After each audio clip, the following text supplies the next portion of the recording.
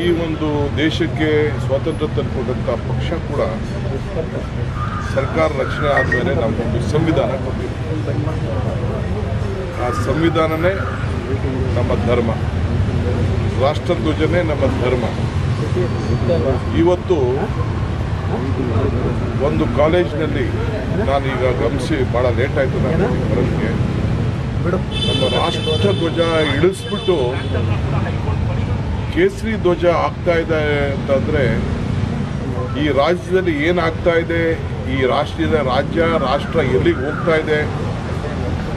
ಇಡೀ ವಿಶ್ವದ ಉದ್ದಗಳಿಗೂ ಕೂಡ ನಮ್ಮ ಭಾರತೀಯರು, ಕನ್ನಡಿಗರು ಎಂತೆಂಥ ವಿದ್ಯಾವಂತಿದ್ದಾರೆ, ಬುದ್ಧಿವಂತಿದ್ದಾರೆ.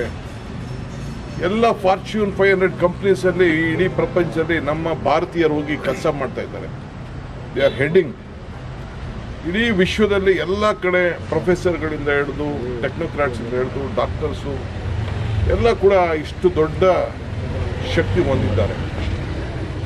ಹೆಚ್ಚು ಕಮ್ಮಿ ಹನ್ನೊಂದು ಪರ್ಸೆಂಟ್ ಜನಸಂಖ್ಯೆ ವಿದ್ಯಾವಂತರಾಗಿದ್ದವರು, ನಾವು ಯಾರು ನಮ್ಮ ಕಾಲೇಜ್ಗಳಲ್ಲಿ ಒಳ್ಳೊಳ್ಳೆ ವಿದ್ಯಾಭ್ಯಾಸ ಕೊಟ್ಟು ಪರಿಣಿತರಾಗಿದ್ದಾರೆ, ಅವ್ರನ್ನೆಲ್ಲ ಹೊರಗಡೆ ದೇಶದವರು ಕೆಲಸಕ್ಕೆ ತೆಗೆದುಕೊಂಡು ಅವ್ರ ದೇಶದ ಅಭಿವೃದ್ಧಿಗೆ ಉಪಯೋಗಿಸ್ಕೊಳ್ತಾ ಇದ್ದಾರೆ. ಇಂಥ ಸಂದರ್ಭದಲ್ಲಿ ಇವತ್ತು ರಾಷ್ಟ್ರದ ಧ್ವಜ ಕೆಳಗಡೆ ಇಳಿತಾ ಇದೆ ಅಂತಂದರೆ ಮನಸ್ಸಿಗೆ ಎಷ್ಟು ನೋವಾಗ್ತಾ ಇದೆ ಅನ್ನೋದನ್ನು ತಾವೆಲ್ಲ ಅರ್ಥ ಮಾಡ್ಕೊಳ್ಬೇಕು. ನಾನು ಅಸೆಂಬ್ಲಿಲಿ ಒಂದಿನ ಹೇಳಿದೆ. ಅಟಲ್ ಬಿಹಾರಿ ವಾಜಪೇಯಿ ಸಾಹೇಬರು ಎಸ್ ಎಂ ಕೃಷ್ಣರವರು ಮುಖ್ಯಮಂತ್ರಿ ಆಗಿದ್ದಾಗ ಬೆಂಗಳೂರು ಇಂಟರ್ನ್ಯಾಷನಲ್ ಏರ್ಪೋರ್ಟ್ ಉದ್ಘಾಟನೆ